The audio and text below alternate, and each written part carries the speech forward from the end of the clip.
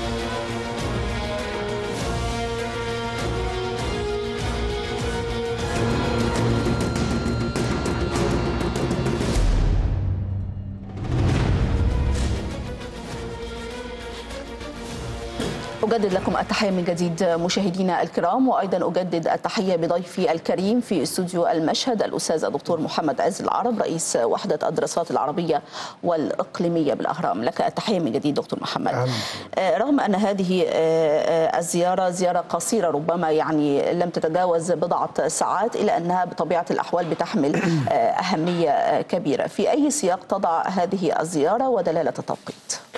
شوفي حضرتك هو في بعدين حاكمين لهذه الزيارة، في بعد يرتبط بفكرة العلاقات الثنائية المصرية الأردنية وبعد آخر يرتبط برؤية كل من البلدين للقضايا الإقليمية. فيما يخص العلاقات الثنائية القاهرة وعمان نموذج للعلاقات العربية العربية. حجم التوافقات المشتركة فيما يتعلق بتعزيزها على المستويات المختلفة الجزء السياسي والجزء الاقتصادي والجزء الأمني له ما يبرره بشكل كبير. حجم التحديات اللي بتواجهها الدولتين بيعزز أن يكون هناك توافقات مشتركة ودي بتظهر في مؤشر محدد جدا. أما تيجي تشوفي حضرتك الزيارات المتبادلة سواء على مستوى يعني القمة فيما يتعلق بزيارة الرئيس عبد الفتاح السيسي إلى عمان أو الزيارات المقابلة من الملك عبد الله الثاني إلى القاهرة. صحيح. آه بالإضافة إلى المحاور المختلفة بقى اللي بنلاقي كتير سواء فيما يتعلق برؤساء الوزراء أو وزيري الخارجية والداخليه أو وزراء النقل أو وزراء القوى العاملة أو حتى الاجتماعات المستمرة ما بين مدراء جهاز المخابرات العامة للبلدين. هذا فيما يتعلق بالعلاقات الثنائية. فيما يخص رؤية الدولتين لما نيجي نشوف تصريحات الصادرة في الصحف المصرية والأردنية والعربية التي وردت على لسان وزير الخارجية السفير سامح شكري بتشير إلى أن هناك توافق كبير فيما يتعلق برؤية البلدين للأزمات الإقليمية سواء كانت المرتبطة بالبؤر العربية الساخنة آه، سوريا ليبيا اليمن أو القضية المركزية لكل من البلدين وهي القضية الفلسطينية بالإضافة إلى مكافحة الإرهاب العابر للحدود. طيب في في كل الأحوال هنتطرق يعني بشيء من التفصيل لكل جزئية أو لكل محور من المحاور. حضرتك طرحتها دلوقتي في كلماتك ولكنك تحدثت على أن يعني النموذج المصري الأردني كنموذج آه، يحتذى به بشكل كبير أو يعني هو أشبه بالقدوة ال- ال- الإيجابية. إذا يعني إلى أي مدى نحن آه، بحاجة أن آه، نستثمر هذا النموذج آه، وفي تعميمه على العلاقات العربية العربية آه، بشكل عام وفي أن يكون هناك تنسيقا وتشاور آه، مكثف آه، فيما يعني آه، يخص ال- ال- الهموم العربية والتحديات العربية والملفات والقضايا العربية. في هذه المرحلة إحنا بنتكلم في 2019 من حوالي 8 سنوات في حالة رياح محملة بسموم مختلفة سواء كانت حركات ثورية عنيفة أو تنظيمات إرهابية عنيفة أو صراعات داخلية كثيفة الحدة آه، أو تدخلات خارجية في الشؤون الداخلية. تمام. اللي هذه البيئة اللي بتشير إلى أن حجم ال ال ال المشكلات والآلام في الجسد العربي آه، آه، بتستدعي في المقابل لمواجهتها والحد من تأثيراتها أن يكون هناك علاقات ما بين دول عربية رئيسية. القاهرة وعم القاهرة وعمان أحد الروافع الأساسية. يعني آم، لو إحنا بنتكلم حوالين آه، دول آه، لديها مصلحة رئيسية للحد من المشكلات التي تواجه ما يمكن أن نضعه ما بين علامي تنصيص نظام عربي. نتكلم على مصر المملكة العربية السعودية دولة الإمارات العربية المتحدة صحيح. المملكة الأردنية الهاشمية. أولا ده كل من الدولتين بيدافعوا عن مشروع أساسي ل- كاد أن يتعرض لتحدي كبير وهو مشروع الدولة الوطنية. خاصة وأن هناك آه، قوة داخلية آه، تستفيد من دعم خارجي مش من مصلحتها إن الدول دي تبقى موجودة. وما الدول ما بتبقاش موجودة على طول بيبقى أن يكون هناك ملء لهذا الفراغ.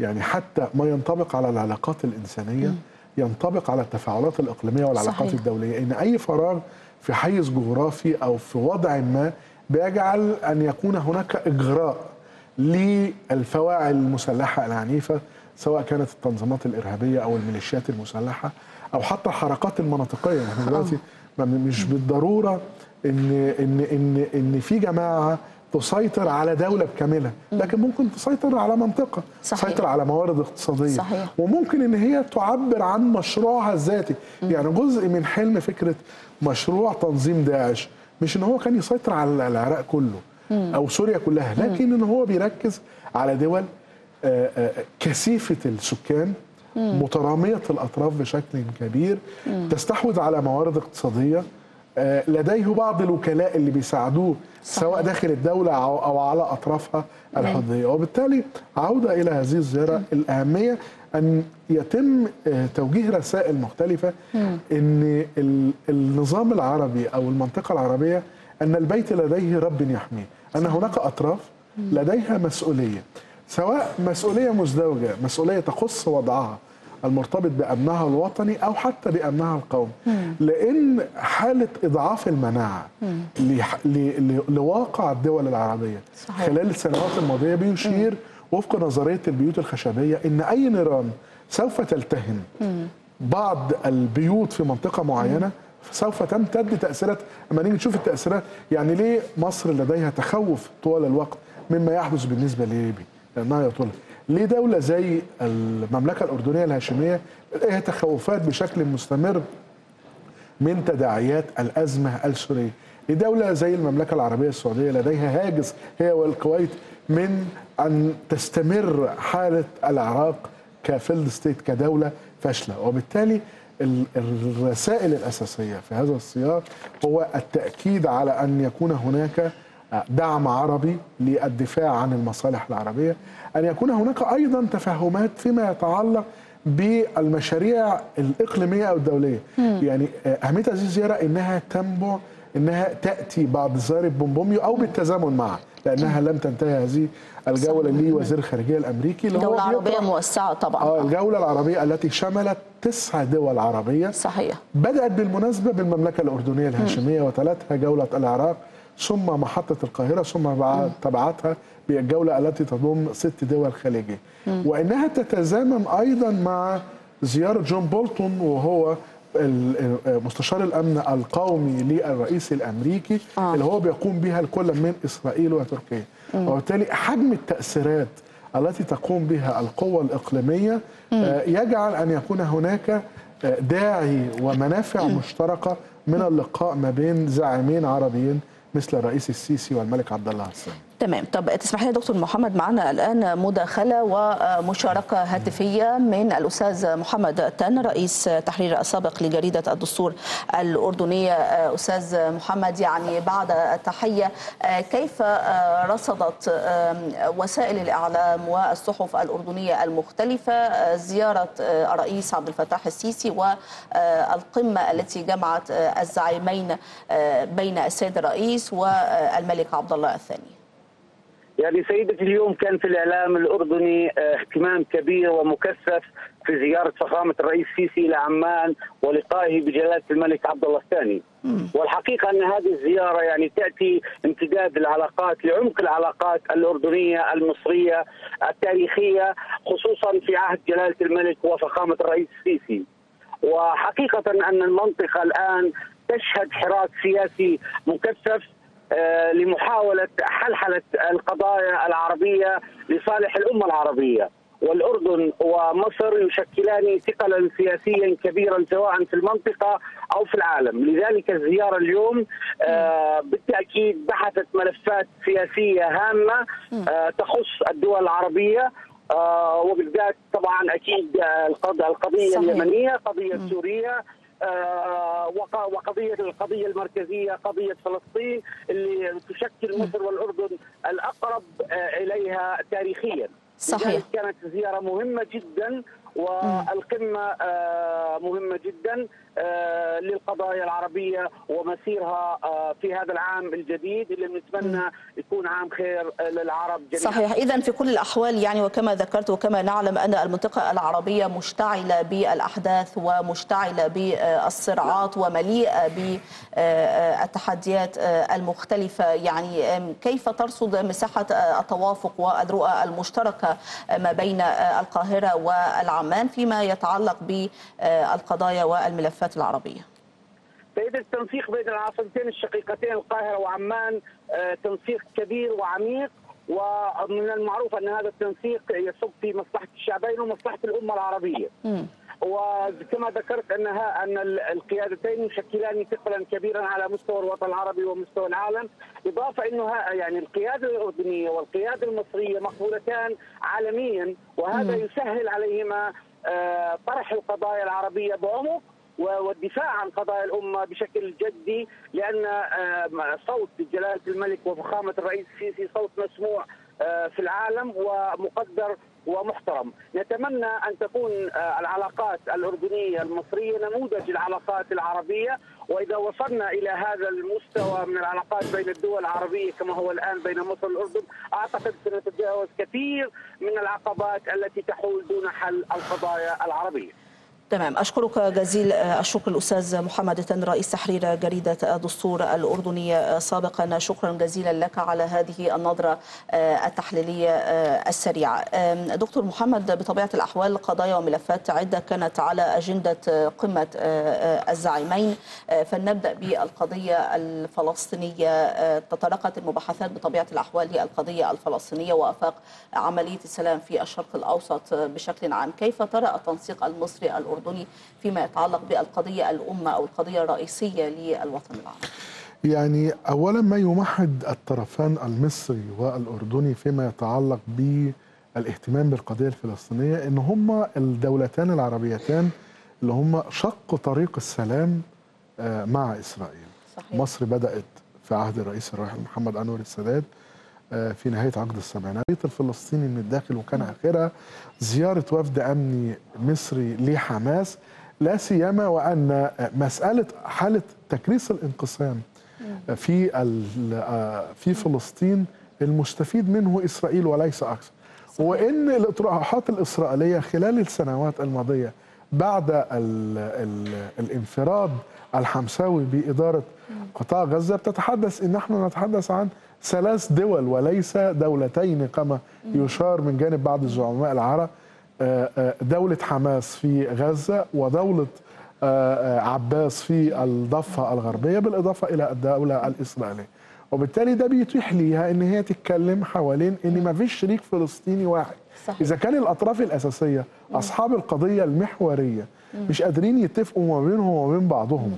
لا سيما في ظل ال- التنازعات بشكل مستمر وقيام الرئيس أبو مازن بحل المجلس التشريعي الفلسطيني وهو ما أكدت عليه المحكمة الدستورية الفلسطينية بيشير إلى أن التصعيد هو لغة التعامل ما بين الطرفين. على نحو يجعل أن هناك من الأهمية التناقش ما بين مصر صحيح. والأردن فيما يخص هذا السياق. الأكثر أهمية هو القيام كل من الدولتين بأنهم حائط الصد بشكل كبير في مواجهة الضغوط الأمريكية التي تحاول هذه الإدارة آه، من جانب ترامب أو من جانب مبعوثيه للشرق الأوسط أو مستشاريه أن يتم تمرير آه، آه، ما يطلق عليه صفقة القرن في ظل حالة ضعف عربي بشكل صحيح. كبير. ولكن عندما نتحدث عن الضعف العربي فيما يتعلق بالقضية الفلسطينية يعني ربما قبل إلقاء اللوم على العرب لتخاذلهم بعض الشيء في التعامل مع القضية الفلسطينية أو القضايا العربية بشكل عام على الداخل الفلسطيني كما ذكرت أن يتوحدوا يعني هناك خلافات صحيح. آه، حتى ما بين يعني آه، فتح وفتح وخلافات ما بين فتح وحماس صحيح. إذن آه، كيف للبعض من الفلسطينيين وبطبيعة الأحوال نحن ضد فكرة التعميم كيف للبعض منهم أن يلقي آه، باللائمة على آه، تخاذل أو تراجع ال- المساعي العربية؟ أو ما الذي يمكن بما بنتكلم على العلاقات المصرية الأردنية ما الذي يمكن أن تقدمه المساعي المصرية أو المساعي الأردنية؟ كيف يمكن أن تبني ثمار آه، أمر هو بالأساس أصحاب البيت يعني يتشاجرون فيما بينهم. اذا يعني عليهم في البداية أن يبدأوا بأنفسهم. هو بالفعل تحليل حضرتك مظبوط وبيكمل التحليل اللي أنا قلته. خاصة وأن أصبح أحد الخيارات المطروحة بالنسبة لحركة حماس هو توظيف ما يطلق عليه تيار فتح الإصلاح. تمام. واللي إحنا نبتدي نتكلم حوالين الانقسام ما بين الفصيل الفلسطيني الواحد.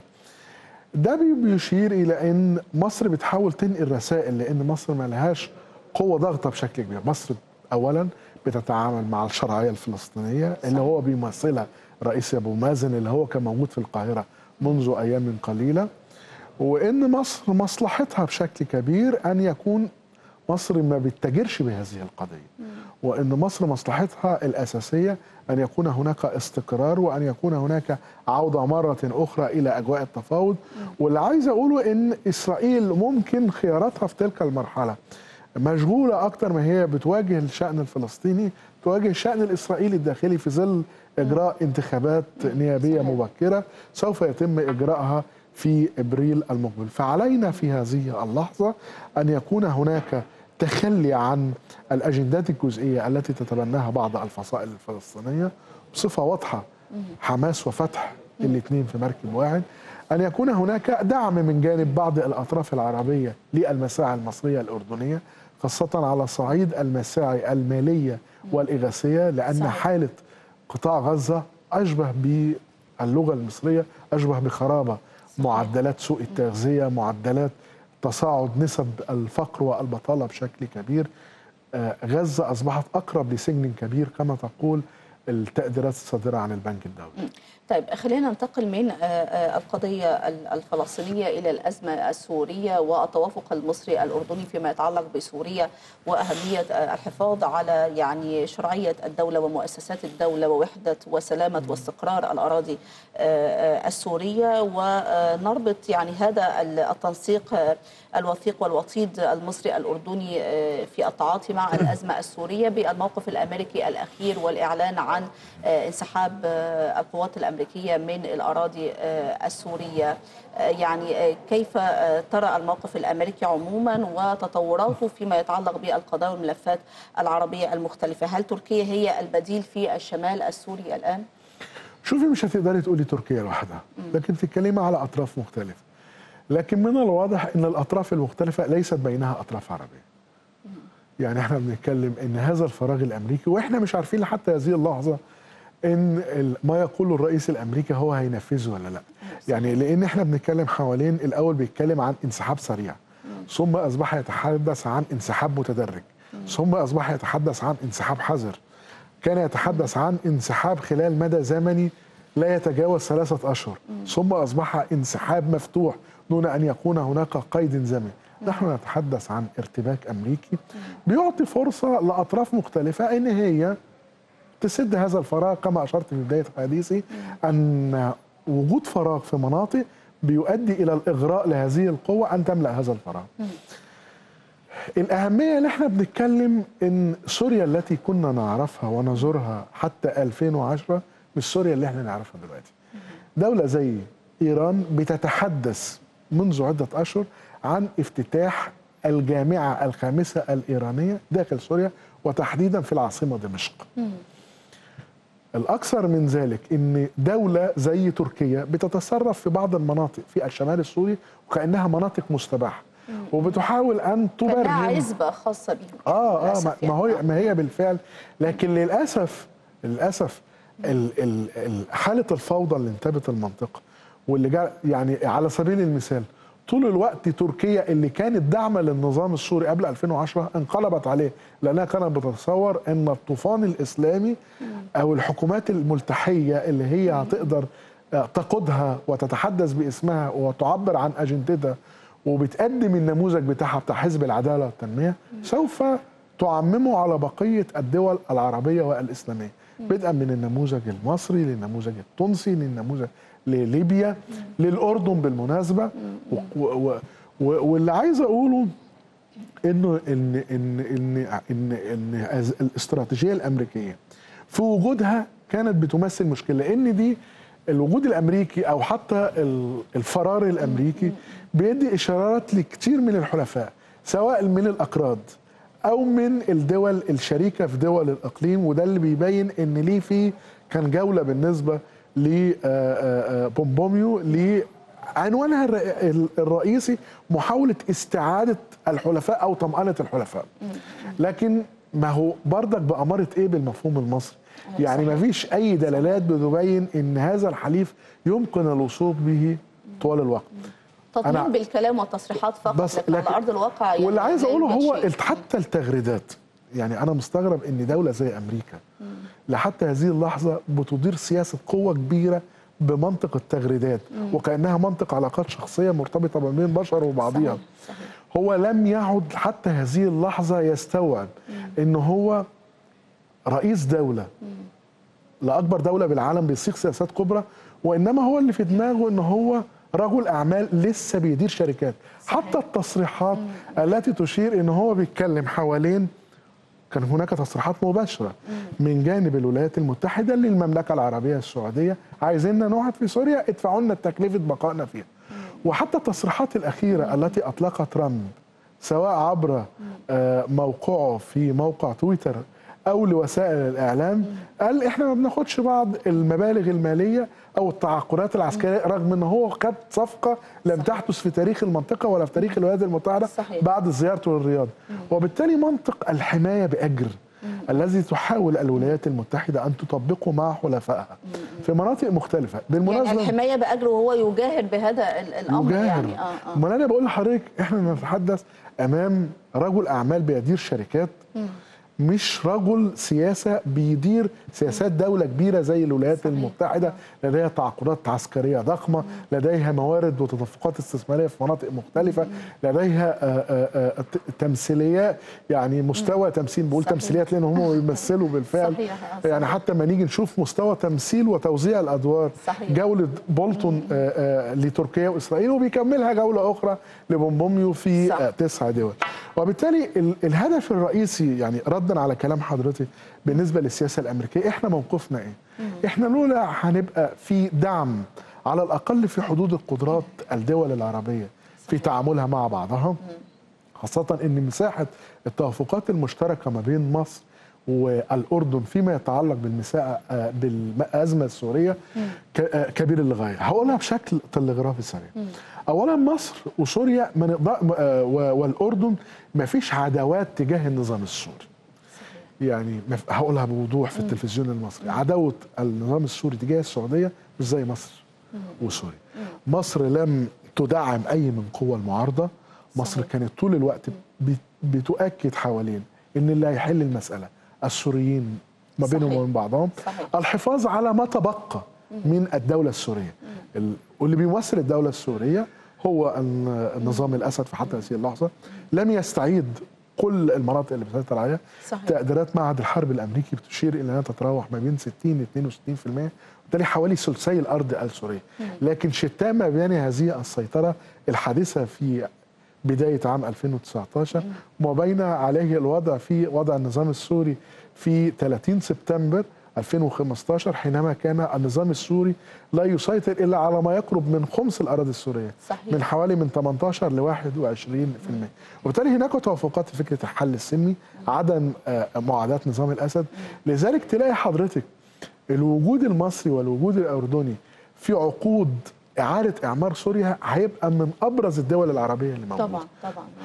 يعني وهنا الدور العربي مهم حتى لا تنفرد أو تأخذ الكعك. إحنا ما بنتكلمش على كعك لأن كعك إيه ده؟ هو كله دمار. صح. لكن أنت إزاي اللي أنت بتحملي أو بتحولي هذا الدمار إلى درجة من درجات الأعمار بشكل أو بآخر. الاكثر أهمية بشكل أخير يرتبط بإن دور إن مصر والأردن دول دول تمثيل للدول العربية. وأن هناك مساعي بشكل أو بآخر ده انطلاقا من تحليل وليس استناد لمعلومات. إن من مصلحة عودة النظام السوري للتمثيل درجة أخرى وما نيجي نشوف المقاربات العربية الجديدة إعادة افتتاح دولة الإمارات للسفارة. الإماراتية داخل صحيح. دمشق صحيح. زيارة الرئيس السوداني عمر البشير لقاء ال ال الوزير عباس كامل مع اللواء علي مملوك آه، في القاهرة رئيس جهاز الأمن الوطني الذي يضم أربع أجهزة أمنية وعسكرية آه، آه، آه، سورية بالإضافة إلى ال- درجة الانفتاح سواء من جانب دولة زي الكويت أو من دولة دولة زي البحرين وبالإضافة إلى التحول الأكبر في سلوك المملكة العربية السعودية أنها ليس هناك لديها مانع لبقاء نظام والانفتاح طبعا. جاء في اطار يعني النجاحات اللي تم تحقيقها من قبل من الجيش العربي. السوري في يعني أحسنت. السيطرة على مساحات موجود مش هتقدري واسعة تعملي يعني. الانفتاحات آه. إلا واستطاع هذا النظام ان هو من خلال آه، آه، يعني الاستناد لعدد من ال- العوامل سواء فيما ترتبط ب آه، آه، آه، التوحد اللي ظهر في قطاعات عريضة من جانب الجيش السوري بالإضافة للحزب البعث السوري العربي صحيح. علاوة على التدخل والدور الذي قامت به روسيا طبعاً، والتي طبعاً. كانت رمانة ميزان بشكل كبير. بالإضافة لكده الرسالة اللي كانت عطفا على سؤال حضرتك بالنسبة للدور الروسي والدور الأمريكي روسيا بدأت تظهر لدول الإقليم بأنها حليف يمكن الوثوق به استطاعت أن تضاع النظام الأسد حتى يثبت أقدامه بدرجة. هي في حين يعني. أن آه. الولايات آه. المتحدة لم تكن المنقذ بل. قد تكون المسبب للانهيار في كتير من الدول الحالات اللي بتتحدث عنها لأن الولايات المتحدة لا تكون الانسحاب من سوريا وإنما تتحدث أيضا عن الانسحاب من أفغانستان شوفي حضرتك وضع الأمريكان ودورهم في خراب العراق ودورهم أيضا في خراب أفغانستان صحيح. وهنا صحيح. بتقول هتنسحب وهنا بتقول هتنسحب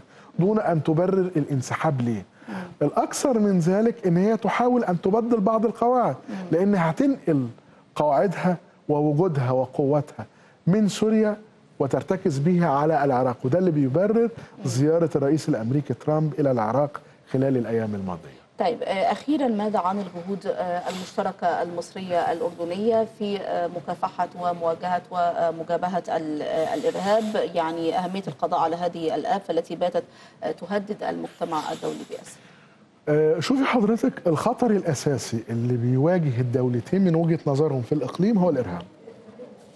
والإرهاب بصنوفه المختلفة وأشكاله المتعددة. كما أشرت مع حضرتك في أكثر من مرة مصر تتعامل مع الإرهاب بالجملة مش بالتجزئة. يعني إحنا رؤيتنا طرحناها في كثير من المنتديات الدولية والمحافل الإقليمية. عفوا إن هناك بعض المظاهر متى توفرت في سلوك هذا التنظيم أو ذاك. ده بيقول إن هو تنظيم ارهابي أما هذا التنظيم يمسك سلاح ويكون هدفه الإضرار بالمنشآت العامة للدولة استهداف القوات المسلحة النظامية أو الشرطة المدنية اللي هي بتواجهها أن يتم العبث بأمن المجتمعات والإضرار بها أن يتم استهداف بعض الأهداف الاقتصادية والمنشآت السياحية ده تنظيم إرهابي. سواء بقى كان هذا التنظيم إخوان مسلمين أو هذا التنظيم كان تنظيم داعش أو هذا التنظيم كان قاعدة أو هذا التنظيم كان بوكو حرام ايا كان. واللي عايز أقوله مثلما عانت مصر من الإرهاب عانت الأردن. صحيح. ومثلما تم استهداف من جانب داعش من جانب بعض المواطنين حتى خارج الحدود الوطنية مش في سيناء بس. لما نيجي نشوف الحادثة الشنيعة التي حدثت للاقباط المصريين ولأول مرة تخرج القوات المسلحة تخرج. تحارب خارج حدودها كانت لاقباط مصريين ليس لأنهم اقباط لأنهم مصريين في المقام صحيح هذا حدث بالنسبة ل آه، معاذ الكساسبة الأسير الذي قامت داعش باحراقه الأردني، آه. التيار الأردني اللي هو كان بيدافع عن أمن بلده ووطنه وبالتالي نحن نتحدث عن قواسم مشتركة بالإضافة إلى أن مستوى التنسيق ما بين جهاز الاستخبارات في البلدين على أعلى مستوى بشكل كبير. الأكثر أهمية إن ما يدعم آه، من آه، أهمية التنسيق في ملف الإرهاب إن الإرهاب قايم أو بي بيمثل مصدر الخطورة عبر حدود رخوة. سواء الحدود الرخوة بالنسبة للمصالح المصرية من كافة الاتجاهات الاستراتيجية أو حدود الرخوة بالنسبة لدولة زي صحيح. الاردن أقول بشكل سريع دولة زي الأردن دولة صغيرة المساحة محدودة الموارد الاقتصادية في وسط فيلان كبار. يعني آه، الأردن تحيطها كل من المملكة العربية السعودية تحيطها كل من سوريا تحيطها العراق. فإزاي دولة قادرة تسير على خيط الرفيع وتحافظ على أمنها بالإضافة إلى التهديد اللي جاي من النسيج المجتمعي الداخلي صحيح. لأن هناك انقسام سواء لأن الأردنيين سواء من أصول أردنية أو من أصول فلسطينية بالإضافة إلى الخطر الذي تمثله السلفية الجهادية والانشطارات التي خارجة من جماعة الإخوان المسلمين. كل ده بيجعل أن يكون هناك توافقات مشتركة كثيرة من البعد الاقتصادي للبعد السياسي للبعد الأمني.